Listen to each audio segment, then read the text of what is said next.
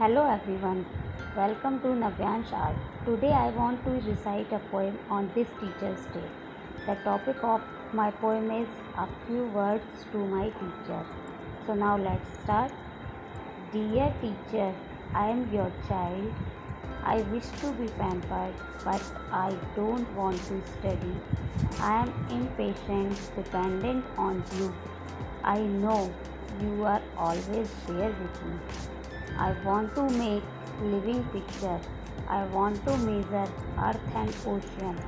I want to fly high in the sky. I know you are always there with me. I want to meet Santa Claus. I want to touch the moon. I want to win awards. I know you are always there with me. I want to get tender smile. I want to be loved and cared. I want an occasional pat on my back. I know you are always there with me. Thank you.